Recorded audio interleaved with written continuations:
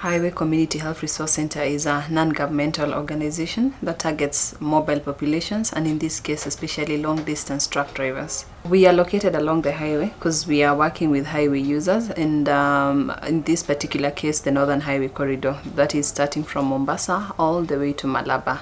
So we have a site in Mombasa at the Mariakani Way Bridge. We have another site at Mlolongo Way Bridge. We have another site at the Busia border and the Malaba border. You'll find our sites located at border points and at uh, bridges because that's where you find most of the truck drivers. What we have in these sites are resource centers, and uh, in these resource centers, there are a number of services that um, go on. One, we have HIV testing and counseling for prevention. Uh, we have introduction to primary health care. We have referral, and we also follow up the clients that we refer. We also have condom distribution and uh, dissemination. We have information, education, materials sharing. Those are those that are relevant to the long distance truck drivers, uh, probably in Swahili, something that they can understand, or in pictures, something that they can understand. And we also have recreation because you find that when by the time the truck driver is stopping at your particular site, they are tired they need a place they can freshen up a place they can have a nice shower a place they can um, even watch tv play pool and uh, I just a place they can relax. And when they relax we, we give them the services that we offer at the resource centers. Our main beneficiaries are long distance truck drivers they are turn boys the sex workers. You cannot look at truck drivers and miss to look at the commercial sex workers because uh, in most cases they are the sexual partners of these long distance truck drivers. So we equally target the, the sex workers we have stakeholders and partners. Uh, our stakeholders are of course the beneficiaries that we have because we cannot target them without them. Uh, we also have the organizations that are working along the transport corridors and we have partners and donors who actually facilitate what we do. And in this particular case we have lvct through CDC.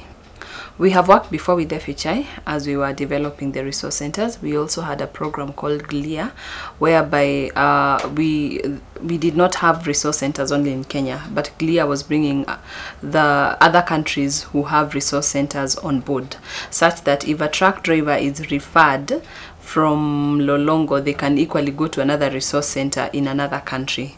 So we have had uh, other partners before this Ungana project that is actually coming to a close. The organization has activities that targets key populations and those are basically the truck drivers and sex workers. For the sex workers, we have a project program called Sister to Sister that targets them with HIV AIDS awareness and help them improve communication and for them to be more assertive, especially when they're negotiating for prices and to as well use condom with all their clients.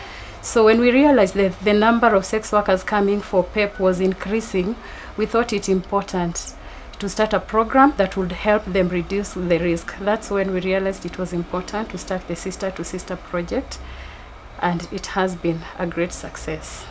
So at our sites, we have seven counselors who are sent for the sister to sister training. So after the training, they implement whatever it is that they were trained on. So they target the sex workers and the project is carried out within their premises. Unlike other organizations that just come, give the condoms and leave, our organization engages them for at least 45 minutes. So during the 45 minutes, there is a video that they watch then they are given information then they discuss and see how they can improve on their life based on what they have seen on the video when they stop in Lolongo, they will get a different sex worker. When they stop in uh, Mariakani, they will get a different sex worker. So this was actually exposing them to HIV because, like we all know, uh, multiple sexual partners is one of the ways of getting HIV. So this they were really doing. And by the time I know the union was starting, the, the Kenya Long Distance Truck Drivers Union, which is our mother organization because that's where we came from, by the time it was starting, it is because they had buried so many truck drivers due to HIV and AIDS. So this was actually missing. The reception of the services was was a savior to them and so the uptake was was really good.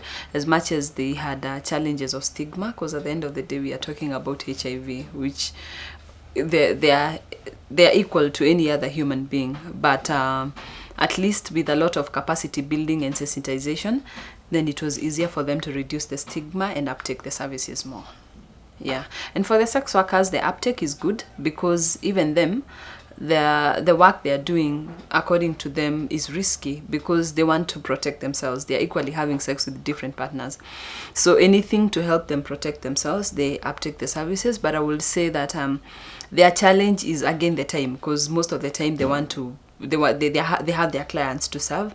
And uh, for most of the services especially sensitization their uptake could be low because they look at the money aspect. They want to be paid for you engaging them for a particular training that will benefit them. So the way we actually work on that challenge is to go and offer the services to them so that they don't see like they're being called here for a training or a particular service. But in terms of htc because it's voluntary hiv testing and counseling because it's voluntary they just come when they feel they have been exposed or it's time for them to come and get tested they come for the condoms they come for the lubes so the uptake is good it's just that money perspective from their end recently we just launched our strategic plan so yeah Three, two, one, action! I think when we think about the Truckers Union, the Truckers Union has really, in essence, given back to the Highway Resource Center. And it is the Truckers Union that has taken on to say that we cannot continue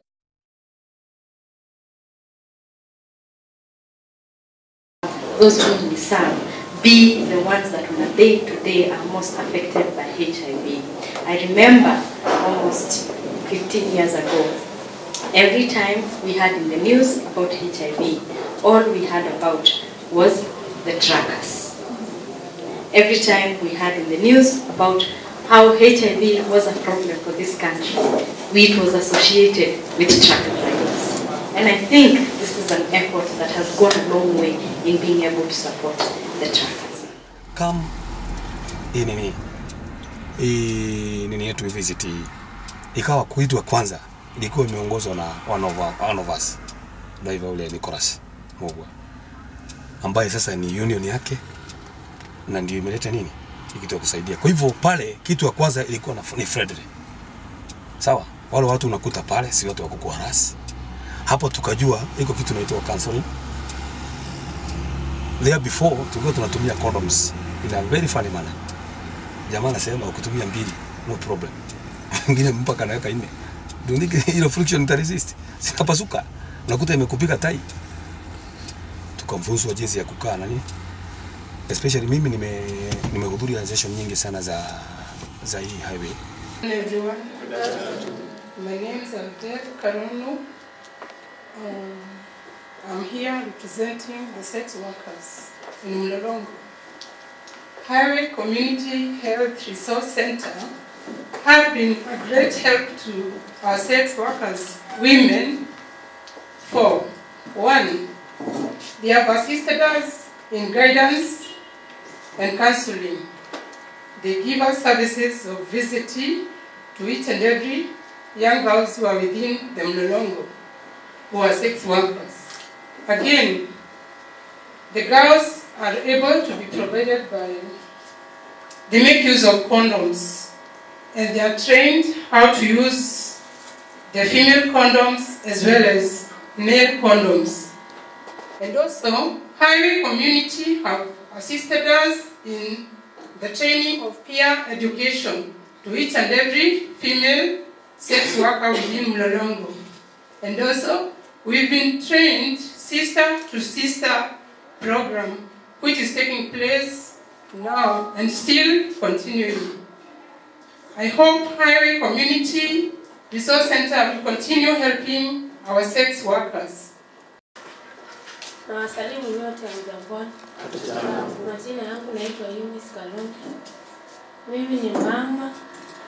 Wakati nilijihisi, nilikaa nikakaa, nikawa sijielewi. Nilikuwa nimeolewa na mzee, alafu alikuwa ananiambia nataka kujiua. Siku anajua nataka kujiulia nini. Tukakaa tukakaa one year, two years.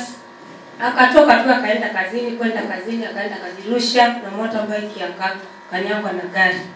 Sasa vile alikanyangwa akaenda, nikawa najishuku, nikakaa nikawa nasikia siko sawa, nikatoka nikakuja kwa Health Community Center, wakaniuliza kwa nini umeamua hivyo, nikawaambia one wakanichukua wakanipima, wakanipa ushauri, wakanipea way forward, wakanipeleka hospitalini ambapo ninapochukua madawa.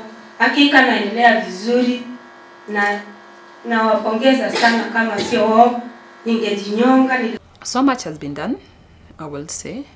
We are not where we started, but we are still not yet there because uh, we have not tested all. We have not capacity built all. We have not sensitized all. Stigma has not fully, fully been done with, but we are not where we started. So we still have so much to be done. Like we say, what has gotten us here will not get us there. So we've done so much to get to where we are, but we are still uh, looking at what can we do differently or more to get us to where we want to be in terms of prevalence. Without the government, we wouldn't be where we are because one they give the guidelines. You cannot offer some of these services without a guideline. You won't have anything to follow so the guidelines come from the government. And then uh, the things like test kits and uh, and condoms most of the times we get them uh, from the government through NASCOP and NAC and uh, through our DMLTs, the DASCOs. Those are the people who, like for instance, the DASCO, it he he represents NASCOP at the district yeah? So we get uh, those guidelines from them and those uh, um, the the lubes the condoms the test kits from them. So basically we cannot do without the government. And equally policy because what the government does not prioritize cannot be funded even from somebody from outside. So uh, the policies that they give are equally good in terms of guidance. And um, of course we would want more priority probably. What we can say that is lacking from the government is more priority to some of these hiv and aids services. Some of these groups like the long distance truck drivers because it's not it's not many it's, it's been a marginalized group for some time. The ungana project capacity built the union to a level of so much growth that the union was handling so much in terms of road safety in terms of legal cases for the long distance truck drivers health and all and they were in a position to let health go and uh, grow to an NGO that targets the long distance truck drivers.